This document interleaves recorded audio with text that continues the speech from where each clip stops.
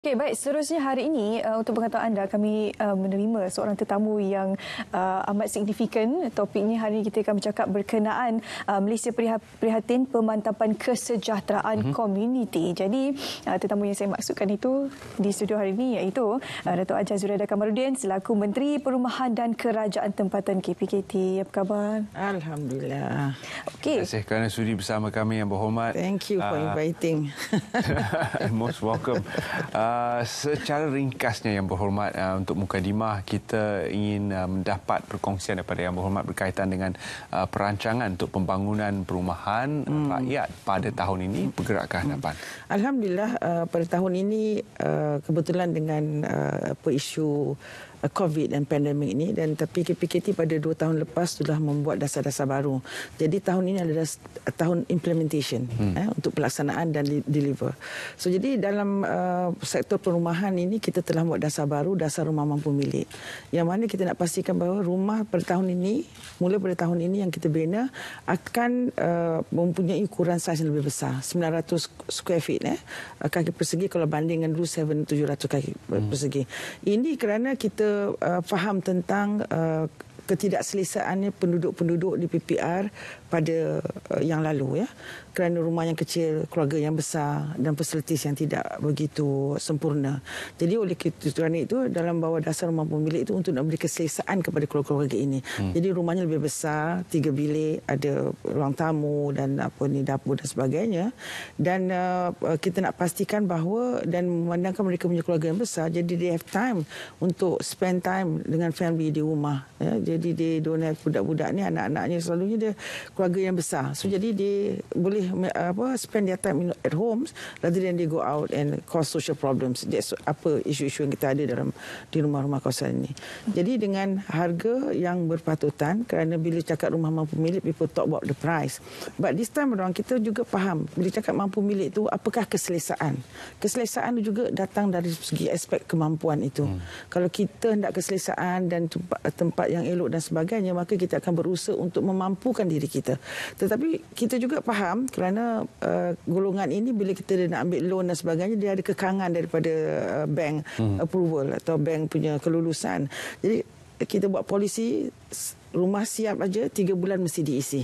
Okey. Kerana kita tidak mahu bila rumah terbiar ya Terence rumah terbiar and then rosak dan sebagainya then it would add cost akan tambahkan belanjaan dan sebagainya mm-hmm. jadi polisi kita memang kategori kita ada rumah rumah uh, sewa ada rumah uh, pemilikan pun ada mm-hmm. tapi sekarang saya buatkan satu selaras Rumah siap ya tiga bulan mesti diisi kita mulakan dengan sewa dahulu. Mm-hmm. Eh, jadi dengan harga yang berpatutan dan kita mengharapkan masa dalam dua tahun mereka menyewa atau mana yang lebih cepat agar uh, peni track record mereka membayar diuk sewa itu boleh digunakan sebagai supporting document uh, sokongan dokumen sokongan untuk apply uh-huh. uh, untuk bank loan eh jadi tapi kalau siapa yang lebih awal dapat first uh, they can move on dia boleh uh, apa teruskan proses itu uh-huh. so jadi ini juga kita memudahkan mereka untuk mendapat uh, menduduki rumah-rumah seperti ini uh-huh. kerana kita nak berikan golongan B40 ini uh, satu kehidupan yang lebih selesa kerana kita nak meng, uh, meningkatkan taraf taraf hidup mereka, uh-huh. kualiti hidup mereka. Uh-huh. Kerana saya percaya kalau kita boleh improve atau naik tarafkan kualiti hidup golongan B40 ini, ia akan memberikan impact kepada seluruh negara. Uh-huh. Yeah, because golongan ini yang kita harus fokus. Uh-huh. Hmm? Uh, Muhammad melihat pada keadaan dan impak COVID-19 ini sudah pasti uh, mereka juga lebih terkesan dari segi ekonomi. Jadi dari segi kelayakan untuk memohon dan yeah. juga lokasi rumah-rumah dan projek-projek yang telah kita lihat di skrin tadi, uh, apakah penambahbaikan dan juga penyeragaman melihat kepada keadaan hmm. semasa? Okey, untuk waktu COVID kita memberikan mereka moratorium. Uh, bukan moratorium kita kita pengecualian uh, sewa ataupun bayaran bulanan. Itu rumah-rumah yang dimiliki PP, hmm. uh, KPKT. So memang itu dia dapat uh, enjoy. Uh-huh. dapat nikmatinya lah jadi mereka tidak terbeban. Ya itu yang kita laksanakan.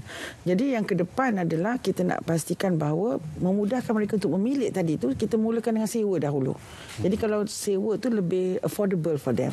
Uh, 4 500 kita depend uh, dengan harga rumah tu. Jadi bila dia dah mula masuk dengan bank uh, dah dapat apa ni permohonan telah diluluskan.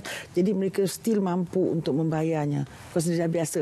Dah ada track record dia dah apa ni uh, apa allocatekan duit itu untuk mereka bayar sewa. Mm-hmm. so disiplin. Jadi disiplin is very important. Uh, saya difahamkan untuk pembinaan rumah mampu milik ini antara uh, teknik terbaru teknologi terbaru digunakan, digunakan adalah teknologi IBS yeah. kalau sebelum ini traditionally kita pakai batu bata simen dan sebagainya. Jadi yeah. IBS ni antara perkara yang mendapat tempat lah uh, menjadi perhatian untuk yeah. dalam pembinaan rumah mampu milik jadi bagaimana kalau uh, Datuk boleh kongsikan? Okay, dengan sistem IBS ini, IBS ada peringkat-peringkat lah. Tapi kalau IBS yang kita telah tetapkan ini adalah uh, dia akan lebih cepat. Hmm. cepat dan dia punya penggunaan manpower uh, tenaga kerja apa ni manual berkurangan hmm. very much dalam teknikal dan digital jadi ini juga akan dapat mengurangkan harga kos rumah itu hmm. pembinaan hmm. dan uh, untuk melakukan penyelidikan bagi teknik-teknik untuk pembinaan rumah mampu milik dan sebagainya saya fahamkan pihak MOSI juga memainkan peranan mereka hmm. untuk melakukan penyelidikan dan apakah keperluan sebenarnya uh, rumah mampu milik untuk didirikan agar ia mencapai tahap kualiti yang diinginkan dan diperlukan untuk golongan-golongan dengan ini?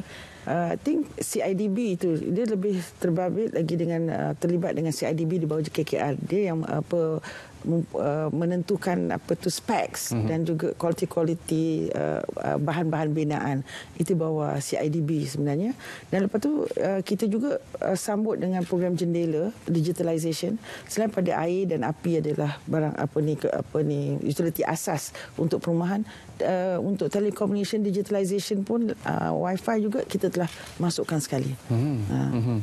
Uh, dan uh, kalau kita melihat kepada usaha KPKT yang berterusan uh, untuk memastikan perumahan uh, berstrata, kos rendah uh, dan juga kos sederhana hmm. uh, dua dua jenis uh, rumah tadi uh, terus terjaga dan berada dalam keadaan baik rumah-rumah yang sedia ada yang telah pun hmm. uh, dibina uh, bagaimana penyelenggaraan yang berterusan dijalankan yeah. oleh KPKT kita juga dah kaji eh. In the past kita dah kaji kita lihat bahawa rumah-rumah PPR ini tidak terselenggara. Hmm. kita tengok keadaannya jadi selam sekotor dan sebagainya.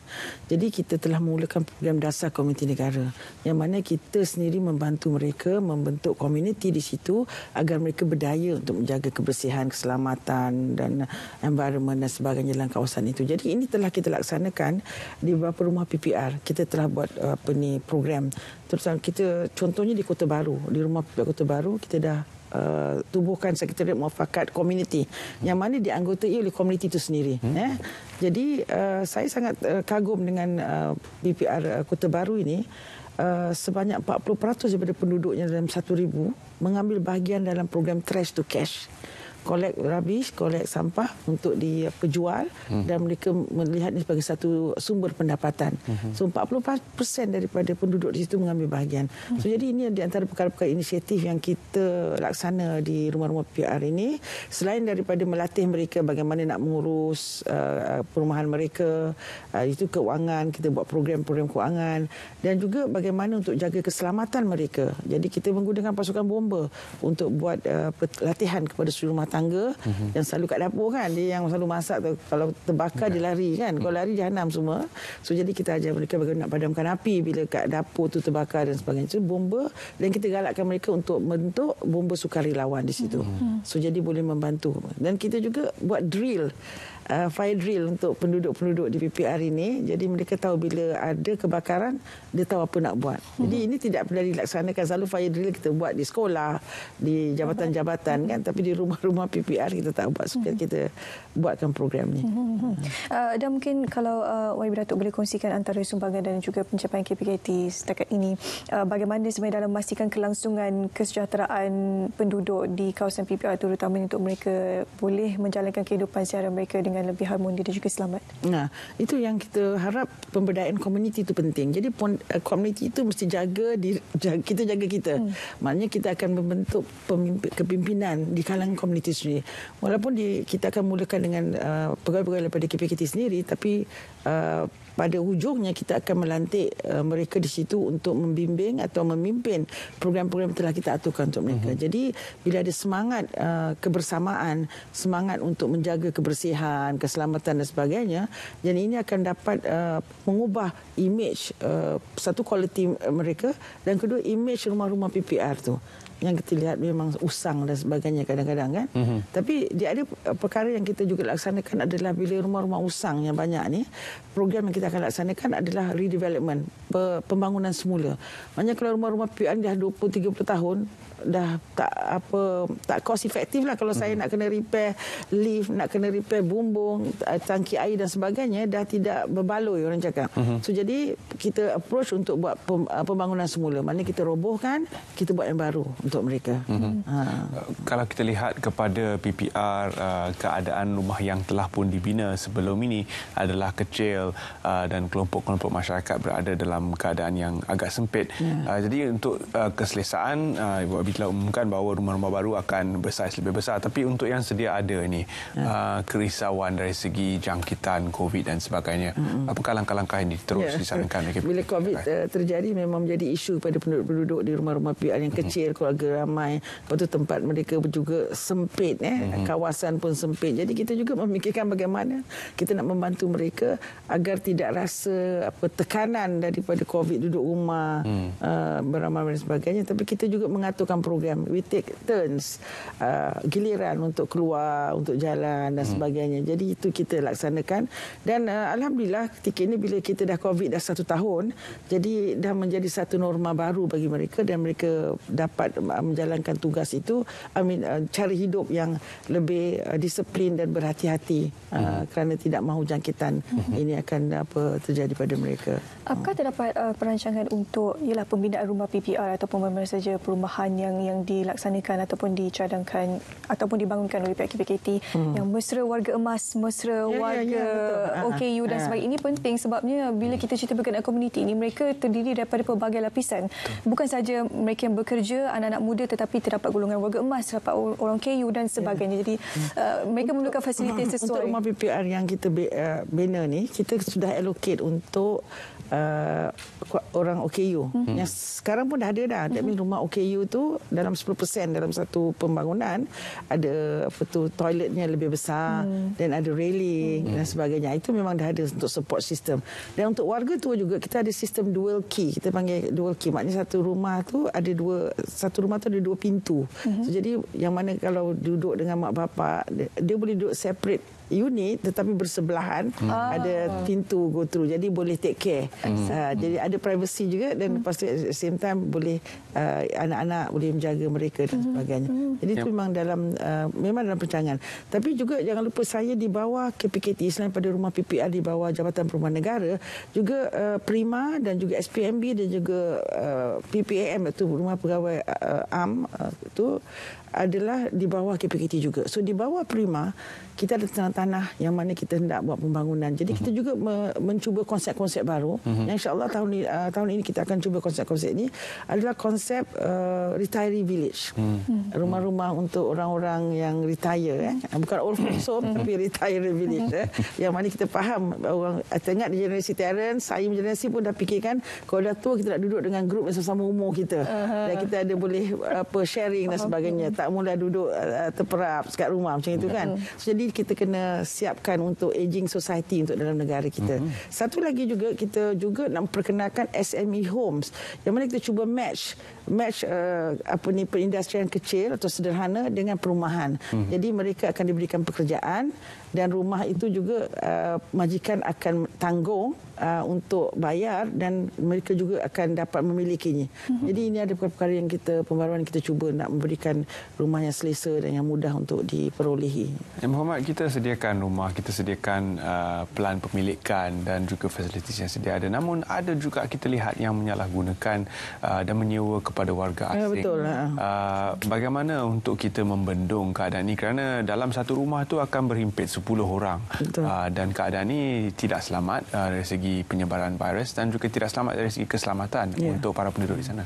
Ada dua perkara ini sebelum itu saya nak uh, terangkan pasal bila COVID terjadi kita juga dapati di rumah-rumah ini diduduki oleh pekerja-pekerja hmm. kontrak ya hmm. so uh, terutamanya insiden di Selangor Mansion dan Malayan Mansion yang ramai kita tangga kita dapati kena covid dan ramai warga asing dan pekerja asing jadi itu KPKT telah menyelaraskan buat undang-undang bahawa okey kalau majikan hendak uh, menggunakan rumah-rumah ini sebagai rumah asrama untuk pekerja mereka dia kena uh, melaporkan atau register di PBT dan mengikut undang-undang PBT. Hmm. Uh, undang-undang PBT itu dia adalah kena enam orang saja dan kena ikut uh, JMB dia dan sebagainya. Itu satu. Yang tadi tu sebut tentang pasal apa tadi uh, COVID tadi tentang rumah-rumah. Uh, tentang disalahgunakan. Disalahgunakan. Yang itu yang uh, memang kita hari waktu saya masuk 2018 kita turun padang kita kata rumah PPR ni tidak boleh disewakan sama ada orang Malaysia ataupun orang luar lagi tak boleh. Hmm. Sebenarnya uh, apa ni penama tu mesti duduk rumah tu sebenarnya hmm. eh. So jadi kita ada juga buat uh, apa ni pembancian atau pemutihan ada juga result tapi I don't have the figures untuk result. Ada tapi not tidak berapa uh, bagus dia punya apa ni uh, result dia hmm. keputusan dia eh. Uh, so jadi bila kita nak buat skim perumahan baru ini kita nak pastikan program uh, pembangunan semula itu saya akan mulakan dengan Lembah Subang 1 hmm. uh, di di apa PJ hmm. yang mana rumah tu memang dah lama dah 20 30 tahun dah teruk dan sebagainya hmm. yang itu saya akan buat redevelopment bila saya buat redevelopment yang itu dah saya ada uh, apa peluang untuk apa ni membuat banci dan memastikan bahawa rakyat Malaysia yang tidak ada rumah yang akan dapat diberikan keutamaan dan jadi penyewa atau warga asing kita harus hmm. uh, apa ni keluarkan yeah. mereka cerita berkenaan banci ni sebenarnya banci dalam Thailand masih lagi dibuka hingga hujung bulan ni jadi anda boleh isi kalau yang belum isi itu terima kasih Datuk yeah, okay bersama kami hari ini uh, untuk berkongsi bagaimana